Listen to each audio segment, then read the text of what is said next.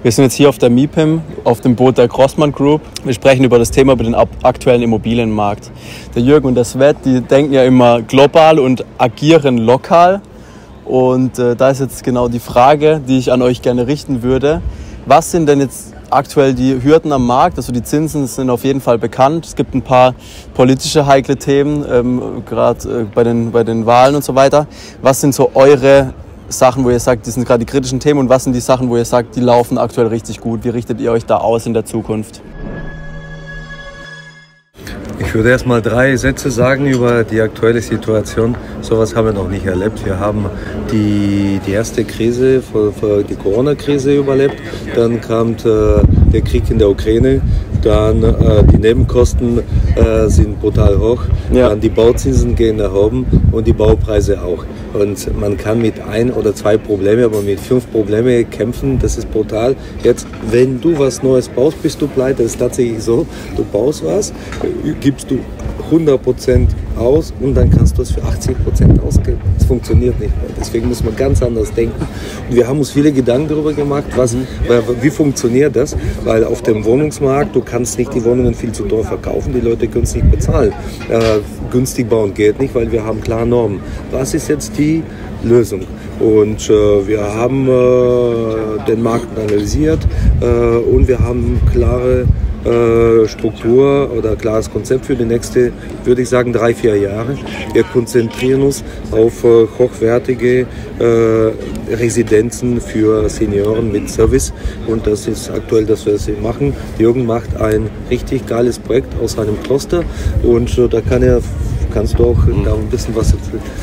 Also ich, ich sag mal so, wir haben ja schon, schon immer auf die Frage, was wir so machen äh, und was unsere Strategie ist, haben wir schon immer gesagt, wir machen das, was sinnvoll ist. Und ich glaube schon, dass, dass das, das blassen wir da dabei. Und insofern sind wir es aber auch gewohnt, dass wir uns einfach einstellen auf neue Situationen. Ja, also Lehman Brothers hast du vergessen, das war ja auch schon ein Crash da in 2008, wo, wo uns auch tangiert hat. Zwar waren wir damals noch nicht so sehr im Entwicklungsbereich unterwegs, und als Architekt haben wir Glück gehabt, dass ein großes Projekt lief, wo uns durch, die, durch das Tal da praktisch durchgetragen hat. Ähm, ich glaube, dass du heute mit klassischen Projekten eigentlich gar keinen Blumentopf mehr gewinnen kannst, weil so wie es das Welt gerade erklärt hat, der äh, Verkaufspreis ist geringer als der Einkaufspreis nach Zinsen allem drum und dran. Und deshalb glaube ich, dass du Immobilie heute mit Mehrwerte versorgen musst dass du nicht nur eine normale Wohnungsmiete bekommst, mhm. sondern dass du die Immobilie mit Wohnungsmiete und Servicepaket und, und, und, und, und, äh, dass du einfach mehr verkaufst als einfach nur eine Wohnungsmiete. Ja, okay. Und, ähm, und damit kriegst du immer noch eine vernünftige Rendite und damit kannst du auch noch einen vernünftigen Kaufpreis kriegen, wobei sicherlich im Moment die Zeit für Verkaufen nicht ideal ist. Ja, okay. Und, und wie löst man dann das Problem, dass dann die Mieten immer teurer werden? Weil das muss ja auch irgendjemand dann bezahlen, auch wenn dann noch zur Miete noch Servicepauschalen und sonst was obendrauf kommen. Wie geht ihr damit um? Wir haben erstmal in das, was wir machen, alle Qualitäten gebündelt, die wir aus der Vergangenheit erworben haben. Wir können wunderbar umgehen mit Bestand. Und äh, wie vorher gesagt, Neubau, wenn man neu baut, dann ist man schon pleite. Wir ähm, bewegen uns mehr im Bestandsbereich und in diesen Bestandsgebäuden finden wir die Qualitäten und aus dieser Qualitäten machen wir was aus. Und äh, der Schwerpunkt jetzt sind hochwertige Seniorenresidenzen mit Service. Äh, wir haben vor 2019 haben wir eine Hotelimmobilie erworben. Wir wollten erstmal eine hochwertige Hotelimmobilie auch weiter betreiben und dann haben wir gerechnet und jetzt machen wir, haben wir daraus eine hochwertige Seniorenresidenz gemacht Aber, mit mh. Hm? Schwimmbad, mit alle Features und dann. Also was, was, was das gerade sagt und was wichtig ist an dem Punkt ist, dass diese Mehrwerte, die wir oben drauf schlagen, so wie ich jetzt gerade gesagt habe, dass wir mit dem Gesamtprodukt aber immer noch viel billiger sind als das Standardprodukt. Okay. Das Standardprodukt ist ja das klassische Pflegeheim. Ja. Mit auch wieder einer Million Vorschriften und deshalb äh, große Probleme. Da gehen ja ständig, jede Woche gehen ja irgendwelche äh, Pflegeheime gerade hops, weil sich das nicht rechnet. Weil, und, und, aber wenn du da reingehst und machst die Tür auf, zahlst schon mal 4000 Euro, ohne dass du groß was hast. Und wir machen ein Produkt, das kostet 1600 Euro, ist viel hochwertiger und du kriegst dann immer nur das dazu, was du brauchst. Ah, okay. Wenn du Pflege brauchst, Pflegestufe 1, kriegst du Pflegestufe 1. Wenn du 2 brauchst, kriegst du 2. Wenn du 3 brauchst, kriegst du 3. Wenn du essen willst, kriegst du Essen. Wenn du es nicht willst, dann kriegst du es nicht. Kriegst nicht. Du kannst auch selber, kannst abends selber machen, kannst dein Frühstück selber machen. Mittags sagst möchte ich aber essen gehen. Das heißt, wir machen ein Produkt, was viel besser ist wie das existierende preiswerter. Okay, und dann ist die, das Szenario aber auch überwiegend auch behalten oder auch viel verkaufen dann? Nee, behalten. Behalten, ja. Ja. Das finde ich auch so gut bei euch, weil ihr passt euch da schnell an. Wenn ihr mal ein Projekt verkaufen wollt und ihr merkt, der Markt ist gerade schwierig, dann tut ihr es schnell umswitchen Ja. und macht dann halt was anderes draus und Ja. behaltet es Wir einfach. haben ein Hotel, wir haben ein Hotel gekauft und Ja, voll gut. Ein, ein Pflegehotel draus gemacht. Weil wir sehen bei Seven Plus Club, sehen wir das ganz arg oft, dass die Kunden kommen mit einem Projekt und die beißen sich halt die Zähne aus und wollen es halt unbedingt verkaufen, anstatt halt den Schalter umzulegen und was anderes draus zu machen. Ich verstehe gar nicht, Weil das warum Projekt das so nur ist. beim Verkaufen funktioniert. Ja. Die haben das Projekt gerechnet bei Verkauf von äh, 26 oder 25-fache Jahresmiete. Äh, Die Miete aber ist nicht so hoch und der Markt erlaubt nicht solche hohe Preise. Wir machen nur Projekte, die sie auch rechnen, äh, die, die sie auch bei, bei, beim Vermieten rechnen. Ja. Das ist nicht bei den anderen. Also wir setzen überhaupt nicht auf Wertzuwachs. Also wenn wir eine Immobilie anschauen Ja, und uns entscheiden, die zu kaufen, dann machen wir das nur über die Rendite. Nie über, dass wir kalkulieren, ja, das ist ja in fünf Jahren so und so viel wert oder so. Das interessiert uns gar nicht. das ist richtig gut, weil dann passiert auch in der Krise nichts. Also ich mache mir manchmal Sorge, weil ich denke, bei uns ist noch gar nichts passiert und bei alle passiert so viel.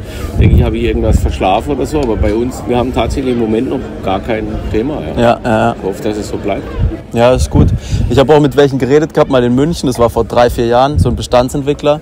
Und die haben gesagt, die kriegen gar keine Objekte mehr, weil die mit 50% EK reingehen. Und da gibt es halt so ein paar Player am Markt, die machen immer 110% Finanzierung und überbieten halt jedes Angebot.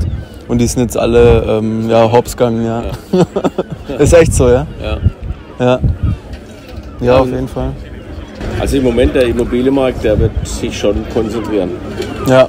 Sehen wir ja auch hier weniger Yachten als letztes Jahr. Ja, viel weniger, oder? Ja, ja. vielfältiger Leute. Draußen sind, äh, früher war die ganze Halle voll, jetzt habe ich gemerkt, der hintere Viertel ist einfach abgesperrt, da gibt es gar nichts mehr. Und, ja, und es ist gut, aber wir können den Markt nicht verändern, wir müssen Nee. damit äh, leben und das machen wir auch. Wir haben auch in, äh, in der Pipeline haben wir auch weitere spannende Projekte. Äh, wir äh, haben noch ein Projekt in Bad Säckingen, direkt an der Schweizer Grenze.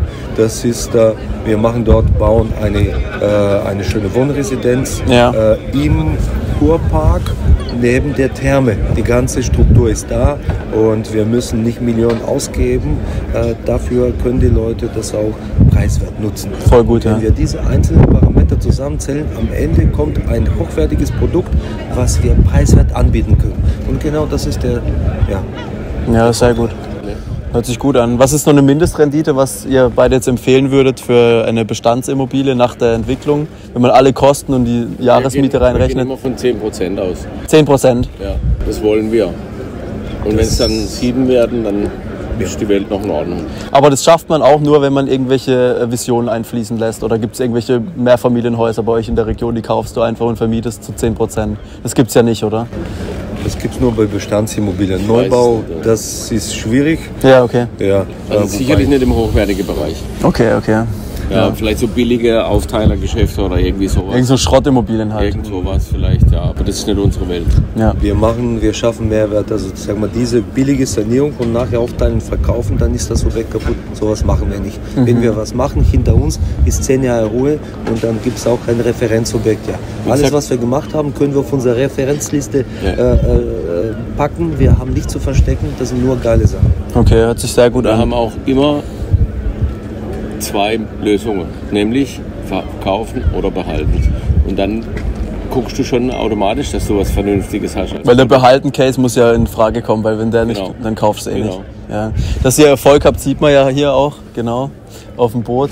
Und danke für eure Einblicke. Ich hoffe, ihr habt einiges mitgenommen und daraus gelernt, dass man halt immer auch auf den Plan B gucken muss und Immobilien halt im Notfall auch behalten können muss. Ja, weil wenn das nicht geht, sieht man halt in der heutigen Immobilienzeitung oder auch von den letzten paar Wochen, dann dreht es einem halt einfach den Hals rum. Und dann danke dir, Jürgen, für deine Zeit. Gerne. Guten Hunger gleich, gell? Schöne Messe. Lasst euch schmecken und wenn ihr Fragen habt, einfach in die Kommentare reinschreiben.